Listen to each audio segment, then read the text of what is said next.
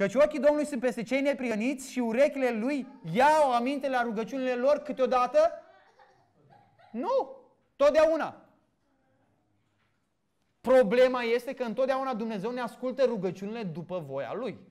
Să nu credeți vreodată că Dumnezeu o să facă ceva împotriva caracterului și voii sale. Dumnezeu întotdeauna ne ascultă. Numai câteodată țipă la noi. Nu! Ne-a răspuns la rugăciune? Sigur că ne-a răspuns. Cum nu? A fost clar. Deci Dumnezeu îți dă câte bum, ușa închisă clar în față. Ți-a răspuns Dumnezeu, domnule, am dat de o ușă închisă. Nu, Dumnezeu ți-a răspuns la rugăciune. Ai vrut să-ți răspundă, Dumnezeu ți-a răspuns la rugăciune. Nu răspunde Dumnezeu totdeauna când vrem noi.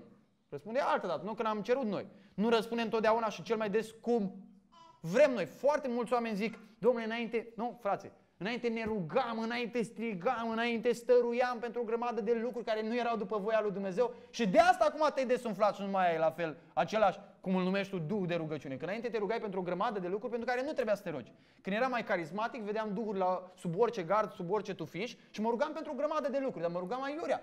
Prostește mă rugam. Pentru iluzii și pentru uh, uh, ambiții și pentru idei care erau numai în mintea mea. În realitate nu erau. Mi și imaginez pe satana că s-a uitat la mine, ce dumă că nu-i nimica?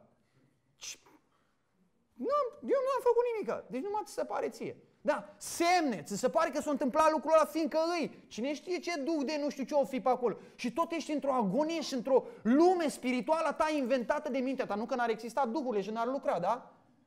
Dar o minte creată, o, o lume creată din mintea ta și te rugai și te rugai și te rugai și în realitate nu era nimica.